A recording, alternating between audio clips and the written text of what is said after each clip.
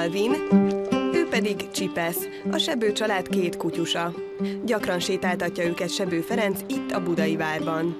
A kutya az a feleségem ötlete volt. Természetesen ezt a nők találják ki mindig.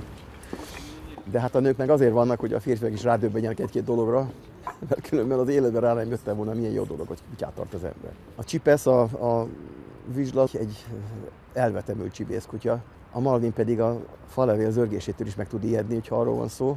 Ez egy jámbor kutya. Nagy testi azzal már van probléma sokszor, mert 50 kilót megfogni, ha ez nekilódul, mert megijed valamitől, hát ez nekem sem mindig sikerült. Egyszer sikerült úgy pofára ejteni engem a Malvinnak, mert megijedt valami kirakattól, hogy elől az összes fogamat kiverte, úgyhogy úgy kellett pótolni. Tehát áldozatokkal jár a kutyatartás.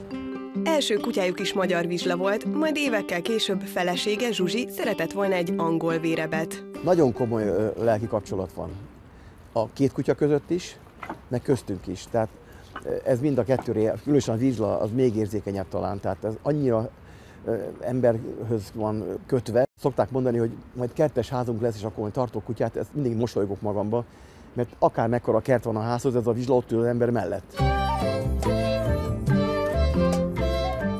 Okos képet vágja. Mosolyogjam, fényképeznek. Ferenc le sem tagadhatná, hogy építész végzettsége is van. Minden alkalommal megcsodálja a középkor maradványait. Hát itt most két világhatárra érkeztünk, mert ez a felső világ, ez a 20. század, és itt alattunk pedig a középkor húzódik.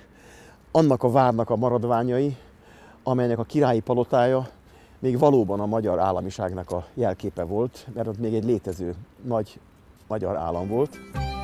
Sétánk alatt számos érdekes információt megtudhattunk a Budai vár történetéről, de arról is, hogy a környéken az évek során egy kutya sétáltatós kis közösség alakult. Szia, szép beszéltek.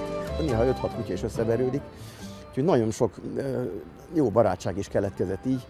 Az egyik legjobb barátomat, Borhi Lacit így ismertem meg, hogy ő is hozta a kutyáját, aztán elbeszélgettünk, kiderült, hogy sok olyan dologgal foglalkozik, ami engem is érdekel, így aztán azóta is tartjuk a barátságot.